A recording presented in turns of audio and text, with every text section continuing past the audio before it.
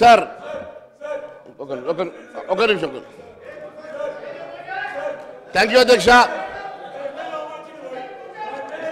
Thank you అధ్యక్ష sir ఒక ఒక నిమిషం please please please please please please కూర్చోండి ప్లీజ్ కూర్చోండి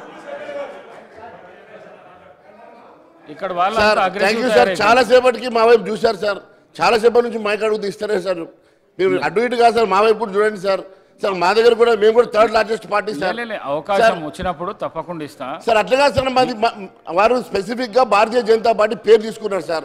గౌరవ సభ్యులు sir in what way Bharatiya Janata Party is concern in demolition of Babri Masjid sir?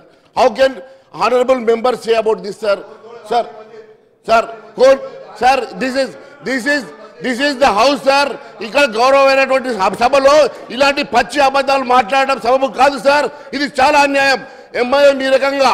ఈ రకంగా అవమానపరిచే మాటలు మాట్లాడితే ఊరుకునే సమస్య లేదు సార్. నిన్నటి వరకు వాళ్ళ చేతిలో స్టీరింగ్ ఉండే కారులో వాళ్ళు హాయిగా ప్రయాణం చేసిండ్రు కాబట్టి పది సంవత్సరాలు అనుభవించారు కాబట్టి ఆనందంగా ఉన్నారు. ఇంకా అక్కడ సంసారం కుదరలే కాబట్టి ఈరోజు వాళ్ళ మీద పడుతున్నారు సార్. వాళ్ళు వాళ్ళు ఏమైనా చేసుకోండి. మధ్యలో భారతీయ జనతా పార్టీ జోలికి వస్తే బాగుంటుందని చెప్పి తెలియజేస్తా ఉన్నారు సార్.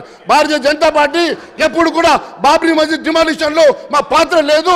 అనవసరంగా బాబ్రీ మస్జిద్ ఇష్యూలు ఇక్కడ తీసుకురావడం మంచిది కాదు అని చెప్పి తెలియజేస్తా ఉంది సార్. అంతేకాకుండా సార్ మొన్న కూడా గౌరవ ఉప ముఖ్యమంత్రి గారు గౌరవ ముఖ్య ముఖ్యమంత్రి గారు మొన్న మాట్లాడుతూ ఎక్కడ కూడా మేనిఫెస్టోలో మేనిఫెస్టోలో ఎక్కడ కూడా మరి నిరుద్యోగ వృద్ధి పెట్టలేదన్నారు సార్.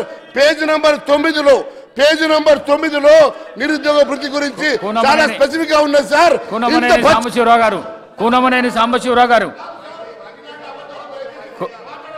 కూనమనేని సాంబశివరావు గారు. సార్. కూనమనేని సాంబశివరావు గారు. అధ్యక్ష ప్లీజ్ కూర్చోండి ప్లీజ్. ప్లీజ్.